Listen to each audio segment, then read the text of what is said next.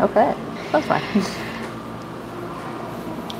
Welcome to the Alabama Aquariums Boardwalk Talk series. My name is Mendel Graber. I am uh, one of the educators here at the lab, and this morning we are going to be chatting with PhD student Zoey Hendrickson, who um, is here at the Sea Lab in uh, Dr. Charlie Martin's lab and um, she is working on invasive species and she is going to talk with us a little bit this morning about invasives and the work that they're doing in their lab and um, some of the important information that uh, you can take away about invasive species and and um, you know how we might be able to affect uh, positive change mm-hmm. with regard to invasives. Mm-hmm.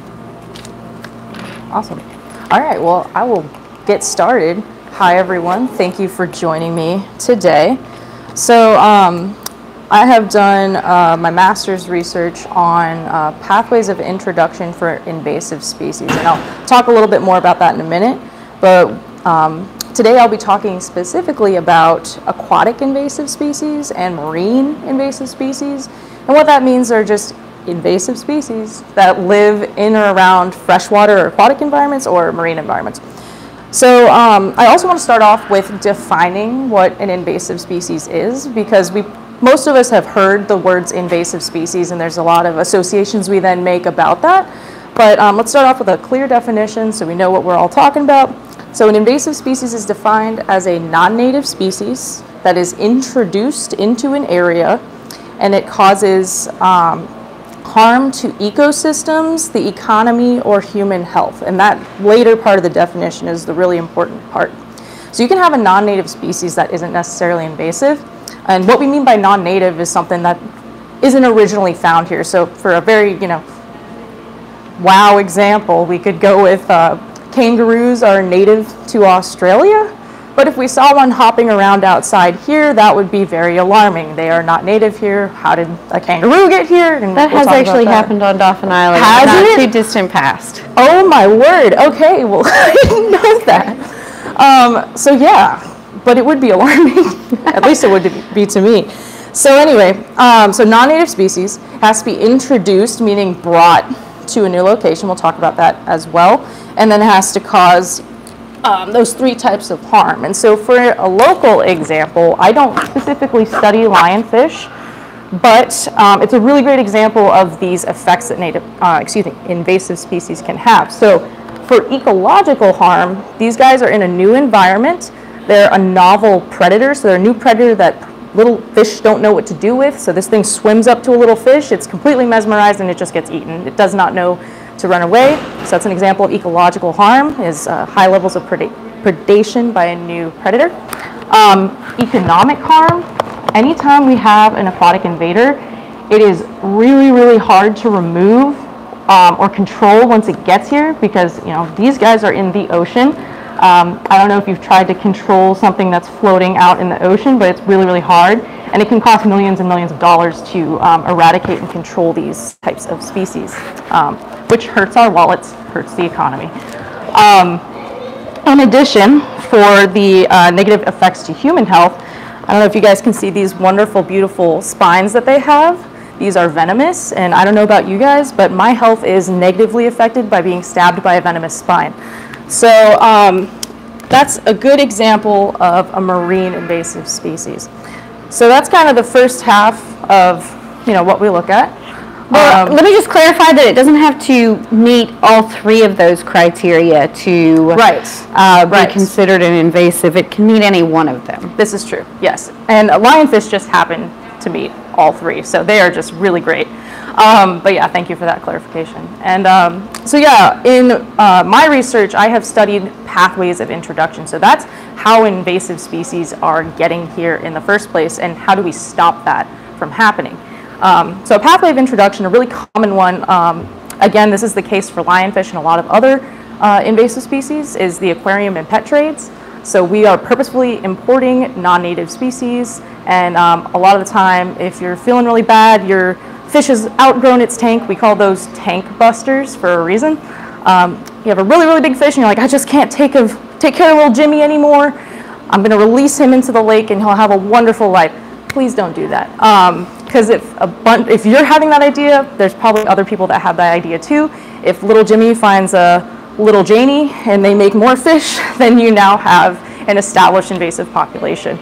Um, if those fish are causing harm. If they're not really causing any harm, then it's just a non-native population. They're just there.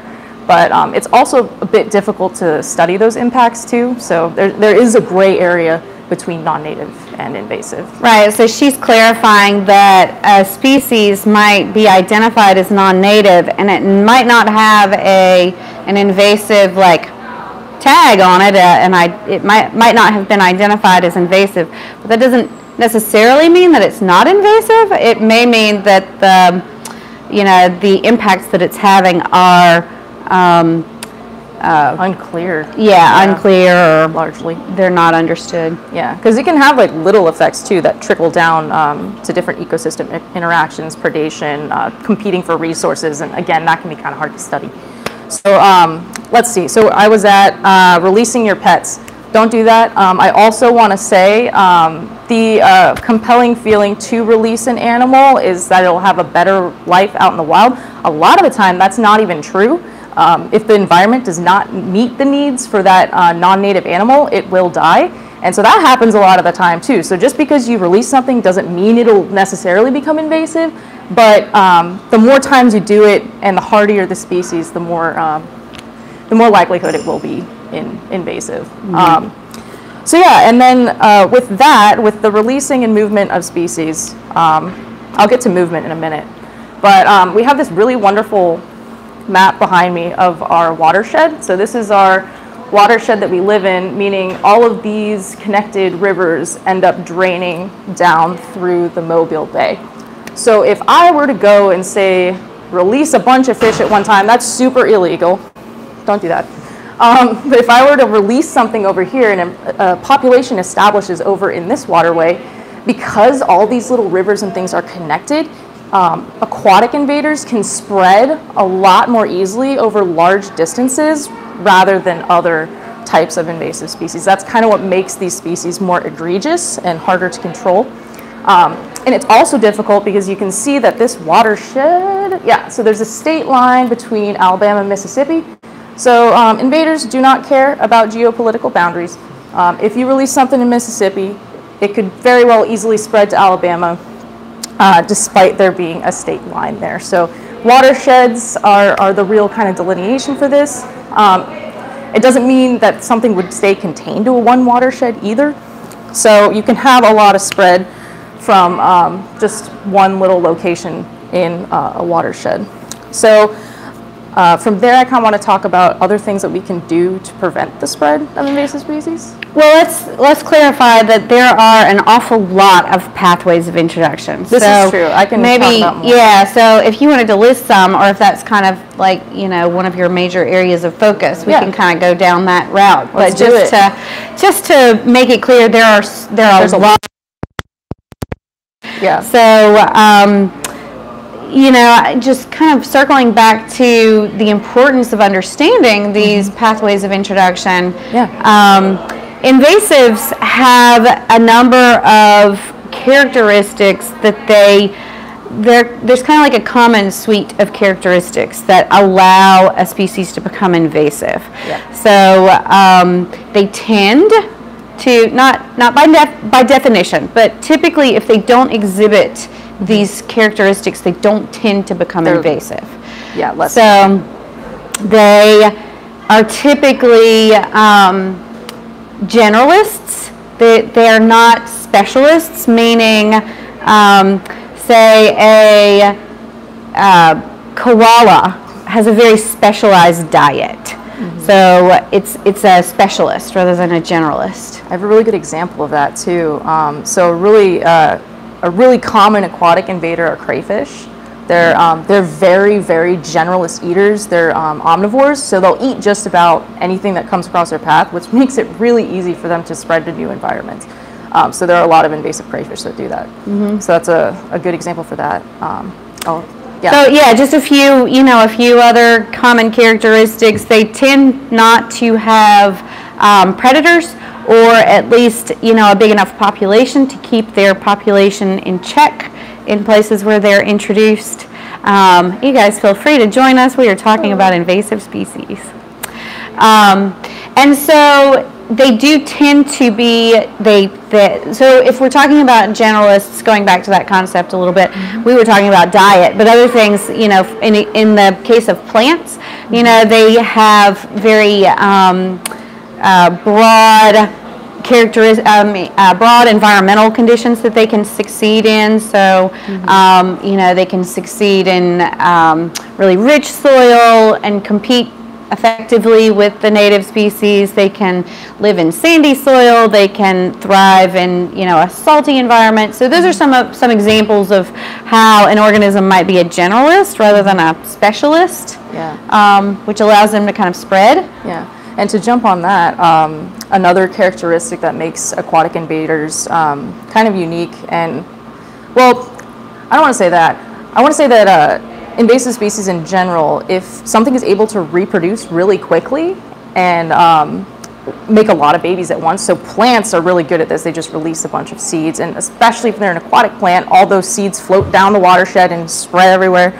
Um, so uh, fish that are um, really frequent uh, reproducers, and they re reproduce a lot of babies at once, um, they're really good invasive species.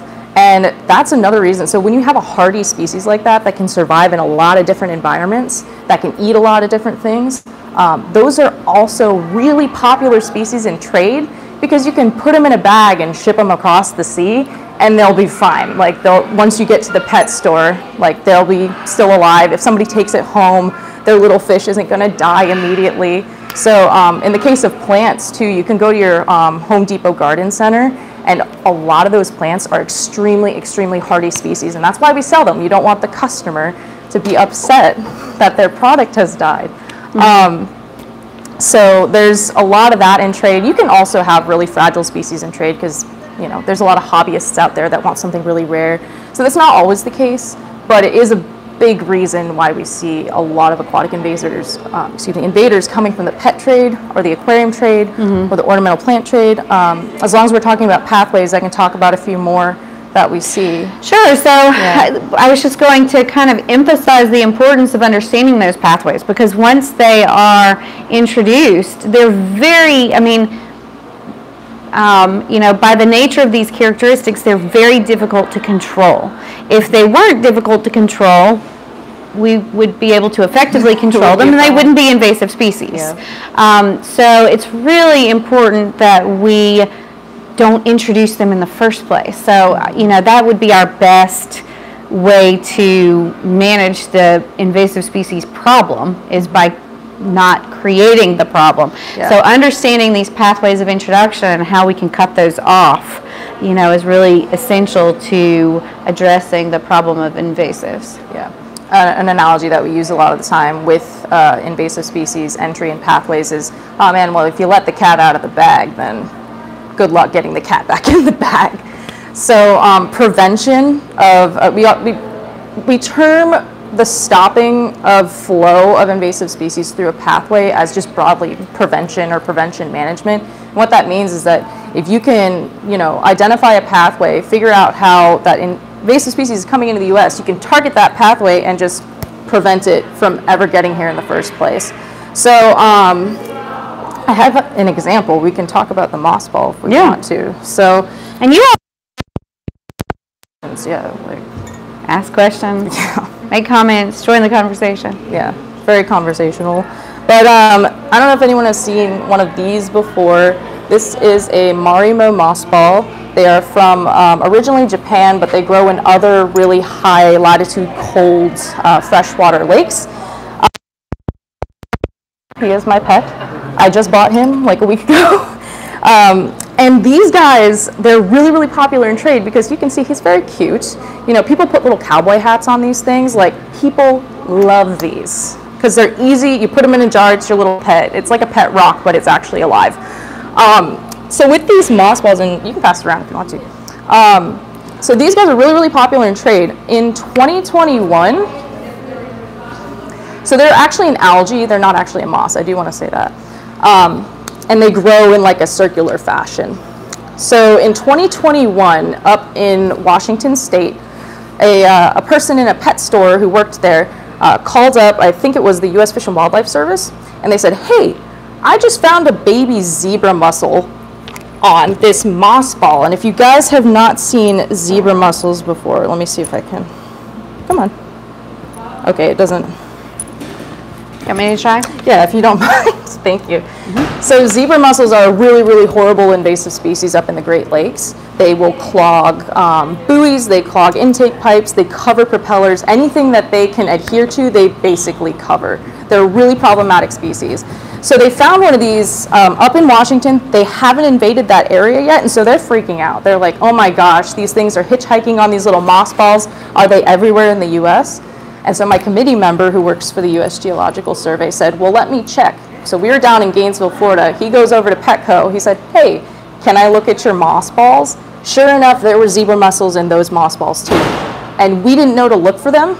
So they were just popping up everywhere and they found them in, thank you so much, in 42 other states. So all of these were ripped off the shelves. They weren't allowed to be sold for about three years until I saw this in the pet store um, last week. And so I bought one because I've been obsessing about these for like three years.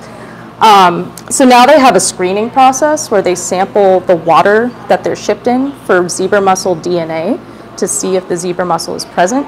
So they have figured out the pathway and trade that they're coming from, a way that they can stop these at the border, test them for an invasive species before they're sent to Timbuktu and wherever.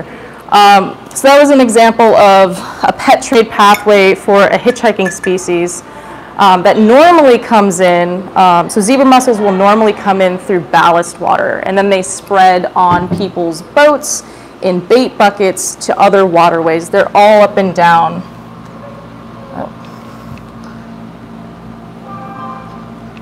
Let's see. I'm gonna see if I can show this picture for you guys.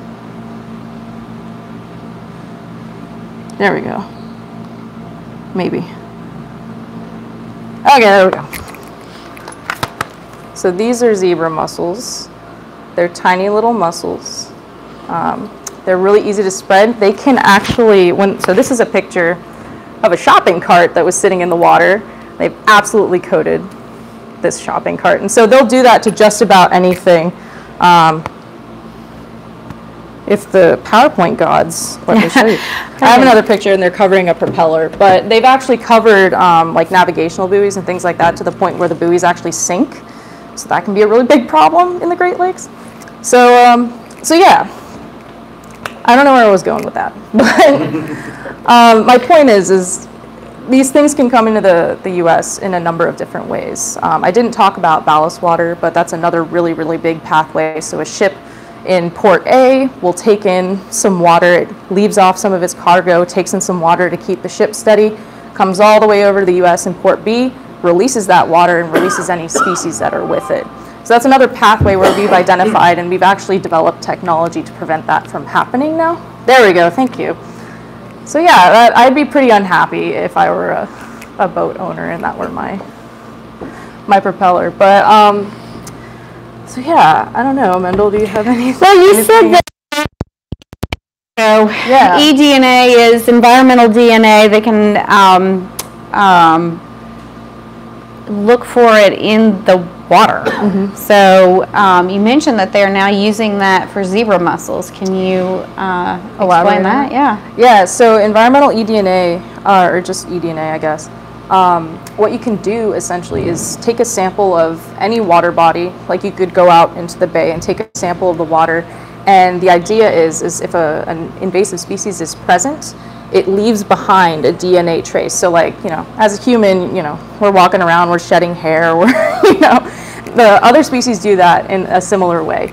And um, if we can pick that up in the water, um, it would be a really, really great way to identify um, where these species have invaded without having to physically go look. I mean, if you look at the bay today, it's, uh, it's very chocolate milk resemblant. Um, so in certain places, it's really, really hard to actually go looking for these things. So if we have this, um, this chemical way to do so, uh, it's an easier way to uh, detect things, early detection, and then you can have a rapid response to prevent that thing from spreading further. further. And in the case of the moss balls, um, it's working, they're using eDNA because you can't just rip these things open and look for a zebra mussel. At that point, you've destroyed the product. And so there's, you know, trade incentives to use this too, because if you're destroying your product, no one's going to want to buy it. So. Are these known to be invasive? The moss balls, no, because they have very specific, um, so that's a good example of a non-native that's not invasive. Um, they have very specific growth requirements. They grow in really, really cold lakes, and they grow really slowly too. So there are moss balls that are about this big, but it'll take centuries, or not centuries, it'll take decades, maybe a century for it to get that big. So, yeah, it's more the zebra mussels because they're grown in areas where the zebra mussels are native to. Um, it's the Ponto-Caspian region near the Ukraine. Okay, yeah. that's what I was going to ask. So yeah. these are grown in culture? Yeah, usually. Um, you can find them naturally. I think the only place they're naturally left is in Hokkaido, Japan. And um, they'll sell moss balls um, in Hokkaido in their souvenir shops, but they all come from like the Ukraine because they're endangered in Japan. So yeah, the problem with these is that they were sourcing these moss balls from areas where zebra mussels are growing too. And so when you ship, you know, essentially an aquatic plant or algae, those zebra mussels will hitchhike on that thing and get sent to other places. Well, okay, so let's talk about um, sort of the end goal of identifying these pathways. So mm-hmm. um, Zoey mentioned that the moss balls were identified um, by a, a, like an aquarium worker, right? Mm-hmm. A, like a oh yeah, as a pet store worker, a yeah. pet store worker, and so reported that, and it like shut down this, um, you know, the trade of this and you said that you just found this recently. So do you know what has developed recently with the re- resumption of the trade of these moss balls? Um, when I found them in the pet store, I immediately texted my committee member. Um, he's in charge of the non-indigenous aquatic species database for the USGS and was um, helping to kind of shut down that trade process what he said is that they are monitoring these for environmental DNA now. They weren't doing that before. Mm-hmm. Um, so that's the new method that they're using. They've also used zebra mussel sniffing dogs before. Um, they've done this for um, python detection in the Everglades too. There's a beagle named Python Pete, hardest working member of the U.S. Fish and Wildlife Service, um, or it might be national parks. But yeah, so there's um, this new method is supposed to prevent that you know, pathway for zebra mussels. However, um, I bought this as soon as I saw it because um, if they need to be checked, I kind of want to be helpful and check it. Because there was only about five in the store. I don't know how many they had back there, and I don't know how many are um, coming and in now. Like, so where would that gateway be? Is that when it's imported? Yeah. So, so. there's specific um, ports of entry for plants and animals. So animals are typically regulated for um, invasive species reasons by the U.S. Fish and Wildlife Service.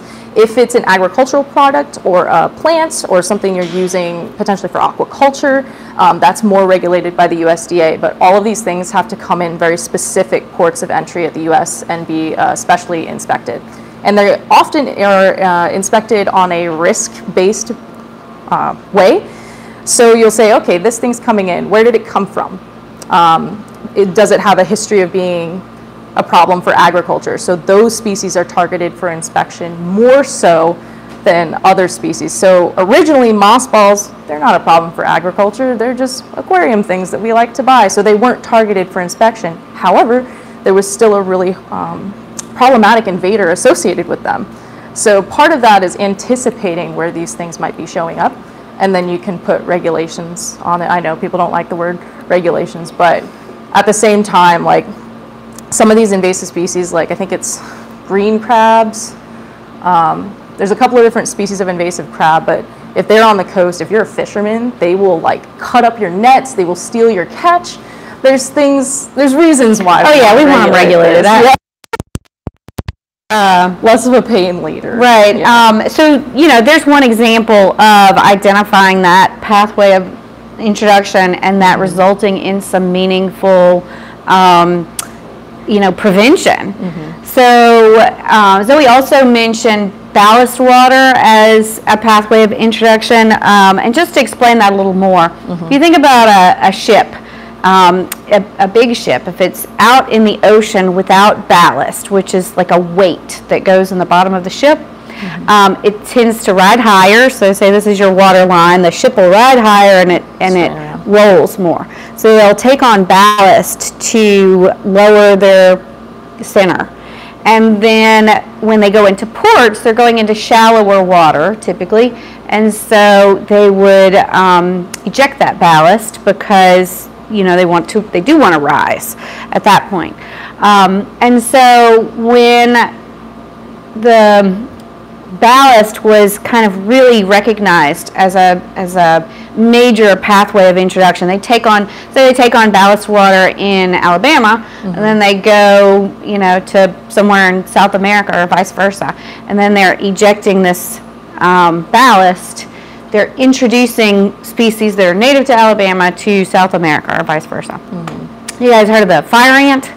So fire ants were introduced, it's thought that they were introduced into the port of Mobile in ballast dirt from South America, and they have since crawled their way across the southeast, um, and they, they do a lot of uh, environmental damage. Yeah. But um, in recognizing that, one of the measures that they can take is ejecting the ballast um, strategically. So if they take on freshwater ballast, um, then they can eject that ballast in salt water where those animals or those organisms are not as likely to um, survive. So, or vice versa. So, um, you know, in recognizing these pathways, we can take measures, you know, to prevent these introductions. Yeah, and there's been a lot of studies on the efficacy, like the um, how efficient ballast water exchange is. So if you're coming from um, a freshwater port in Europe and you have freshwater ballast, there's a certain point along your journey that they recommend that exchange to happen, so you get like maximum salt water, so all that freshwater stuff will die.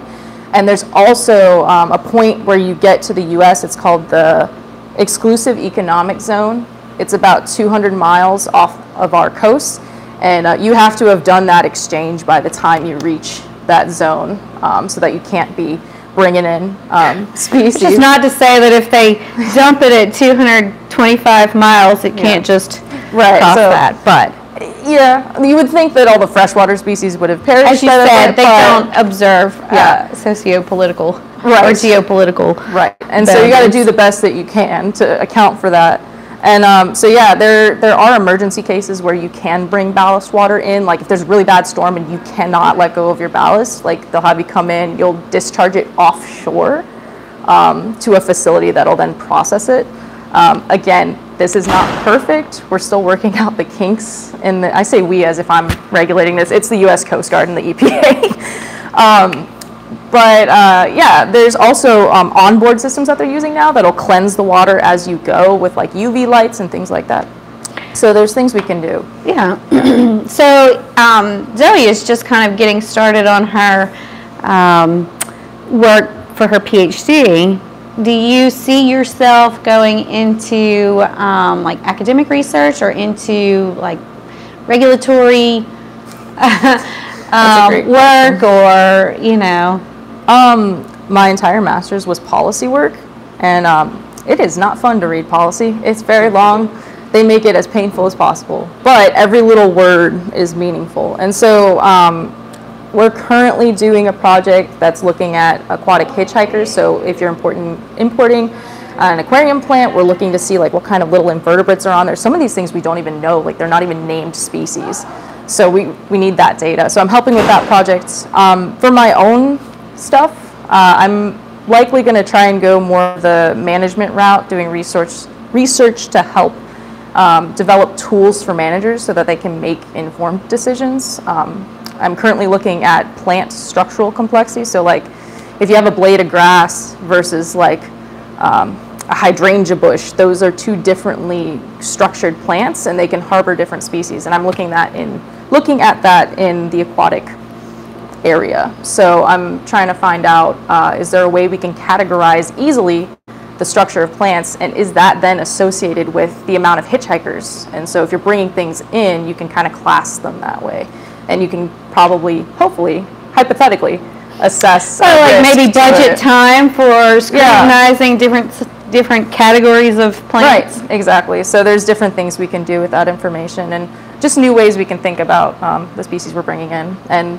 the potential impact that they might have. There's a lot of unknown risk right now with bringing in these species. So just to um, talk about that a little bit, the um, kind of the various roles of these different um, organizations or agencies or institutions.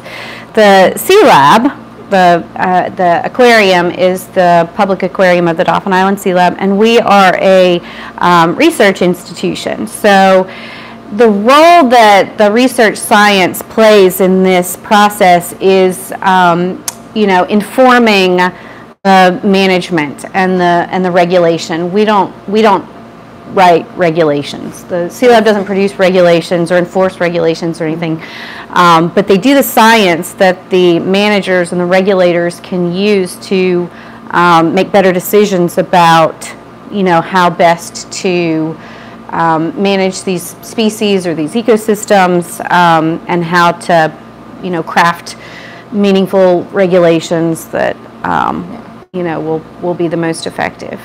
So that's kind of what I was wondering Yeah. um, about where um, No, Zoey sees herself going, staying in academia or kind of going into one of those other roles.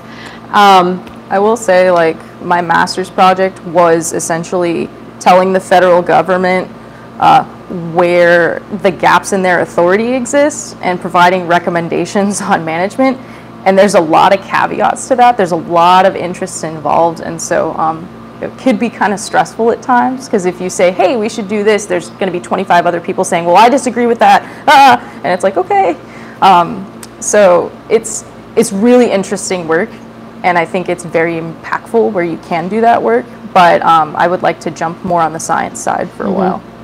Yeah, so um, can you guys just kind of like tell us where you're from? yeah. I can tell you what invasive species are. Not better. Yeah. So um, where are you guys from? Uh, we're from New Orleans. Oh, nice. And it's funny you talk about crayfish because it's a common place. Uh-huh. I think that they're destroying other environments is, you know, makes us enjoy eating them a little bit more. Yeah, Yeah. and I think usually when you're doing a crawfish boil, it's Oh, yeah. so in science it's crayfish. Anywhere else is crawfish, crawdads, you know. Um, but uh, which you guys know. But uh, but yeah, no. A lot of the time you're eating an invasive species or a species that might be native to that area but invasive in another. So like, yeah, don't feel bad. It's. Aquaculture. Yeah. So um, you've got farm-raised species that are, you know, uh, typically farmed for food, um, and then if they, well, Okay. okay, yeah, or I mean, I said food, but for example, nutria. nutria were introduced into Louisiana for the fur trade, um, and It always seems like a really good idea at the time. and uh, you know escaped from their their enclosures. Um, so and and another thing is that um, New Orleans, you know, is a port city, so Oh. you know you have some of those Yeah. introductions, and a lot of times um, we see warmer areas that are more subject Mm-hmm. to establishment Yeah. um, they're just more it's like they're the climate is more favorable for a lot Mm-hmm. of species to thrive so i was thinking while you were Yeah. talking about you know im- importing um, like nursery products Mm-hmm. a few years ago we started seeing a new species of lizard Yep. in this area the Yep. brown cuban anole we have native anole lizards the little lizards that can turn brown and green Mm-hmm. um, but it's thought that these were being brought in in like you know um, nursery plants Yeah. So um, one of the species I did as a case study for my previous work was the Cuban tree frog, and they it's a similar thing. Um, they come in on horticultural imports and like palm trees and things like that. And so actually in Louisiana, um, there's the Audubon Zoo. I don't know Yeah. exactly where it is, but um, unfortunately I've never been there. But I, I need to go. Yeah. Oh, cool. tried. They imported a bunch of palm trees Mm-hmm. from South Florida for their um, elephant enclosure, and then they started seeing Cuban tree frogs popping up, and it's because they came on those palm trees, and that's happened from Florida a number of places. But to touch on the whole warm area being a better climate, so just like the snowbirds come down here and it's more temperate for them, um, meaning the like folks, the people that come down, the birds do. But um, yeah, warmer climates uh, are able to kind of uh, be a more hospitable environment for these species. And so we've seen Cuban tree frogs that have been introduced up in Kansas, but they don't make it because the, the winter's too cold. But Miami, on the other hand, Miami, Florida is an absolute hotspot for species. If you want to see your pet store in live action, go down to Miami, you'll see flocks of parrots, you'll see iguanas, um, any type of aquarium fish. It's all in the canals. And it's because it's so warm down there that they can survive. Um, and then I was going to say one other thing about Cuban tree frogs. Oh, no, you mentioned um, port cities. So Mobile is a fairly large port, and so is New Orleans. In port cities, even marinas and boat ramps, those are pretty much a lot of the time hot spots for invasive species because boats are coming in, they're bringing in things um, in their ballast, they're bringing in things on their hulls. So there's hull fouling where organisms, algae, and all sorts of things will just grow on the outside of the ship. That's another pathway. And um, in addition, people know, hey, if I want to, you know, dump my pet somewhere, they'll just go over the local boat ramp and just kind of. Oh, because it's a public access a public point access to point. water. Yeah. Ah, I never thought about that before. Yeah, so you can find, like, it's really interesting because um, the correlation between invasive species presence and population, you can track that. In areas of high density and high urban areas with a lot of people, there tend to be more invasive species because we're bringing them there and mm-hmm. releasing them or they escape, all that sort of thing. Well, and and just with people are more mobile now. You know, Yeah. they, they Yeah. move around the world more than you know in human history, and so and they bring things with them unintentionally. So not only are we moving products, but you know, Yeah. we're just we're just more mobile. Where are you guys from? Oregon. Oregon. Oh, hello. Oh, you guys are. So are you all staying on Dauphin Island? Are you staying over? in Alabama. uh, yeah, well, so um, Dauphin Island is, you know, Alabama. Um, a lot of, a lot of people don't realize that, but um, so you guys, let's see, what part of Oregon? Are you coastal? Are you inland? Coastal? We're, Um, we're Albany, Oregon. We're between Eugene and Salem. So do you guys know any of you, any of the invasives that? boy. Uh, Green see, crabs? Uh, Asian mitten, cr- mitten crabs. Chinese mitten um, crabs. Let's see, uh, The red rock crabs. Um, tiger, tiger, um, The tiger, snails. tiger snails. Siberian prawn, I think, is up near you Yeah. guys too. Yeah. Yeah. So there, there's no catch limit on, on uh, those, on those crabs. Mm-hmm. Yeah, those you are- catch female, male, don't matter. Titles a new chair. Yeah, there's almost a price tag on their heads. Mm-hmm. Oh yeah, like Yeah. like there there are sometimes. So I don't know if they're currently running a um, uh, uh, bounty, but uh, I mean, you know, you used to be able to get like four dollars a tail or so for nutria tails. It's even more so like in the Everglades, they have such a hard time finding the pythons down there, and there's so pro- there's so many there, but they're so good at hiding. They have these tournaments all the time for people to go down and just like get as many as you want. Biggest one gets like sometimes hundreds of dollars for these things. So yeah, it can be. It's really interesting, um, and that's actually a good point as well because sometimes when you have these invasive species coming in and we start putting price tags on, hey, if you catch it, you get this amount of money. People say, oh, all right, and so they'll sometimes try to establish things in different areas to get that going. And there's all these different incentives, so it's a very social problem as well. You can't just look at like you can look at the pathway, but you got to look at the economics of it. You got to look at the ecology, the human aspect, not only for health, but also reasons why people might want these things here. So you were you you started by talking about lionfish, um, and you mentioned the venomous spines, but there are places, typically, um, you know, in more southern latitudes than the northern Gulf, but where they have.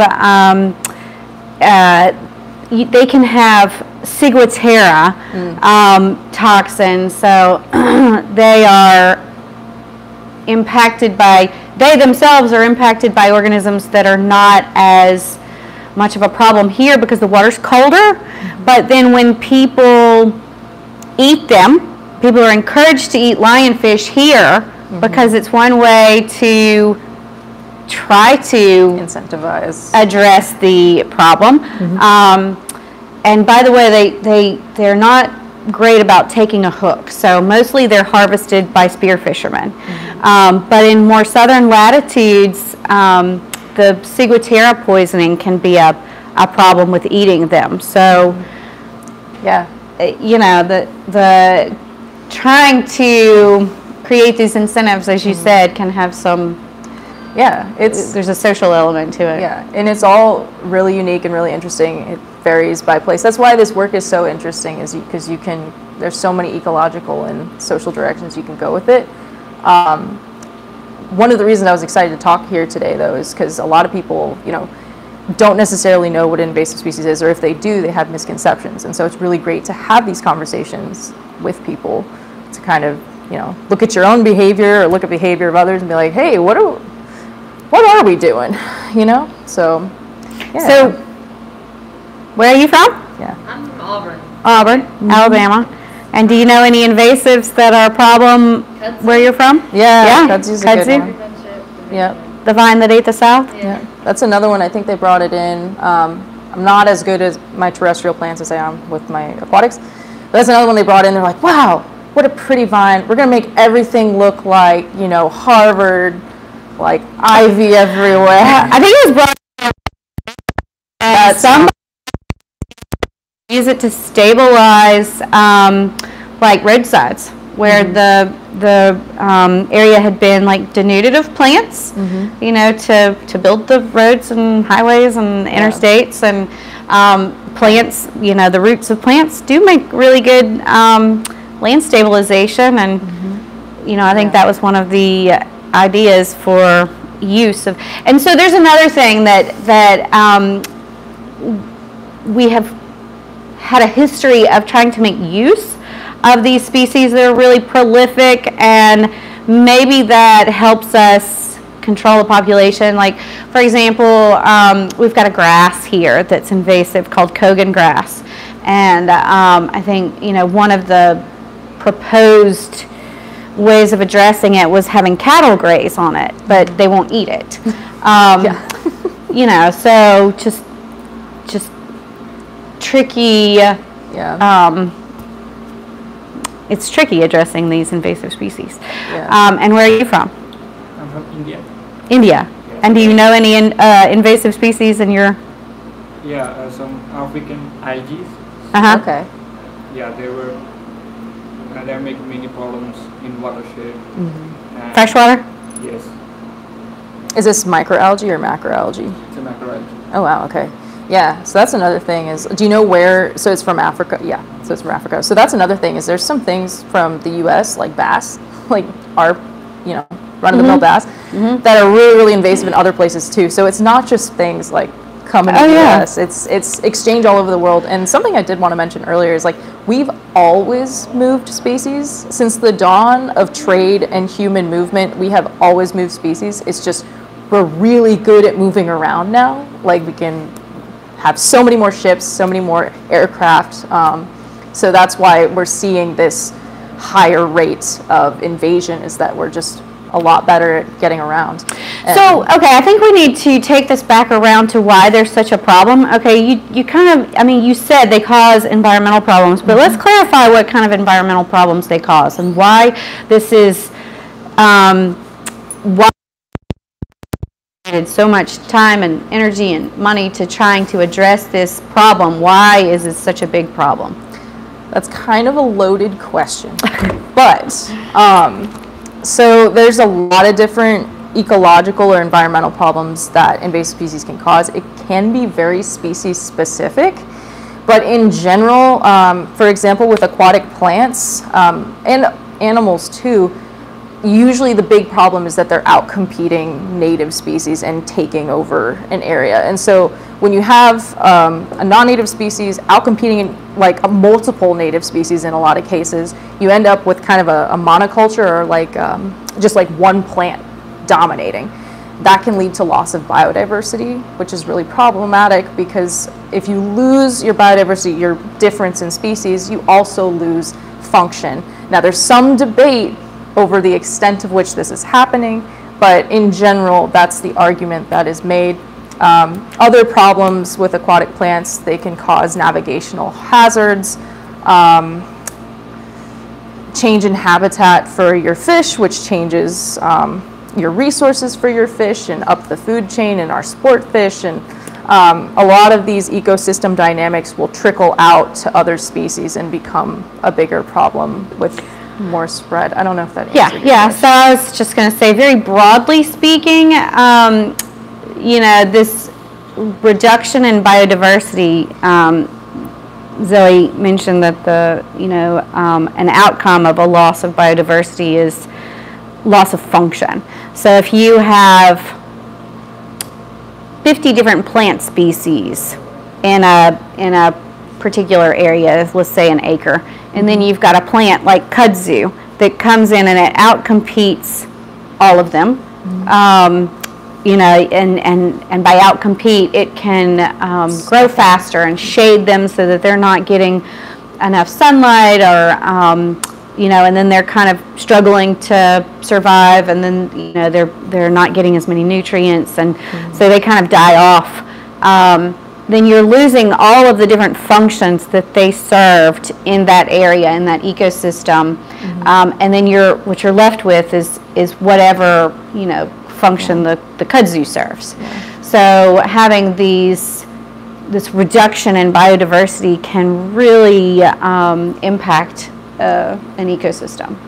And to kind of have an function is kind of a, a broad word ecologists like to use because we're all like, oh yes, function, I understand. But to kind of give an example to that, especially with the trees and the kudzu, um, when you have different trees in an ecosystem, a lot of the time they serve different insect hosts, so different butterflies, different um, flies, different spiders, and um, then you'll have birds that eat those specific insects. So if you lose that specificity, like if the ta- Or even the berries or the or nuts even the berries, or the- trees, yeah, exactly. Like birds will eat that specific berry from that specific tree. If you lose that diversity, um, the kudzu's not necessarily going to fill that hole. Right. So and, and I used an acre just as a Yeah, that's all right.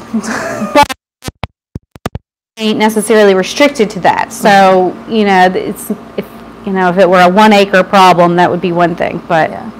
And then um, another reason, just to, you might be like, well, why are these invasive species so good at outcompeting? Well, in their native environment, they're competing with every other plant that has kind of grown up with them and evolved.